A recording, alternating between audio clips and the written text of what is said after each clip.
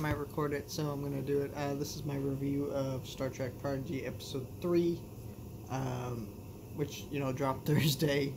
Uh, I had reasons I couldn't. Also, if you can see the different location, you kind of guess where I'm at. Recorded a different video about that, so watch my previous video for that. Um, I like this episode a lot. I'm really enjoying this series, what it has to offer so far.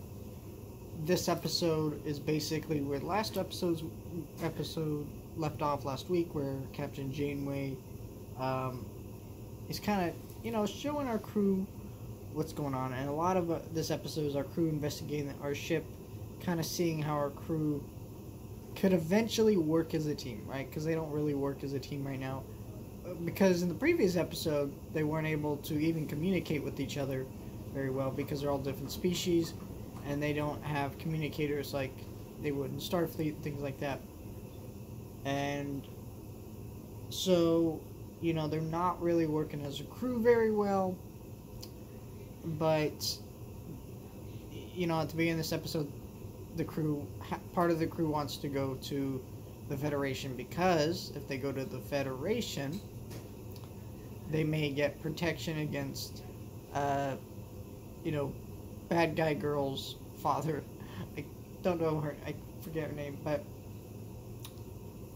you know, she she's a great character uh, in this episode. You know, kind of get more insight into her character, but I really liked yeah, seeing these characters grow as a crew. I had one problem with this episode.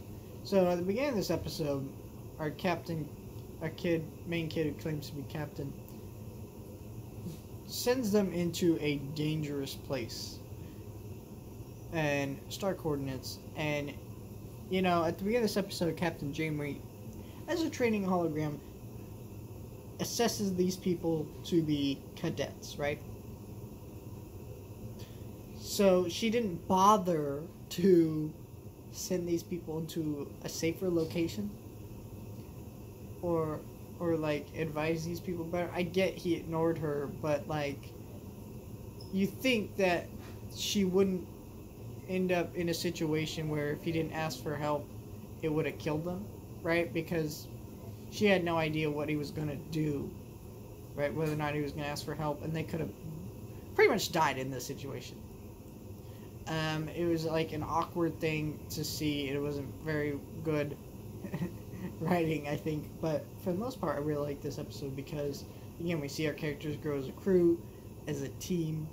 Um, the writing was pretty good for the most part, I would say. And, um, yeah, I, I, really, for the characters, I really liked, you know, a rock girl monster. I don't really know any of these characters' names because let's face it, kind of, Star Trek has a lot of weird names for characters and alien species, so it's kind of like it's hard to memorize any character's name long, unless you've been watching the show for like seasons, seasons, all right? Or like there's some easy like Data, you know, Picard, stuff like that.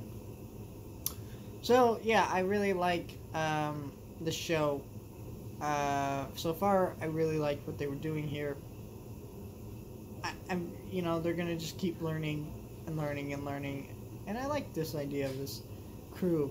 Though I just find it weird that, you know, she says how these kids are essentially um, cadets. Like, she assesses that they're basically children, but yet she doesn't take extra precautions, which I find a little weird.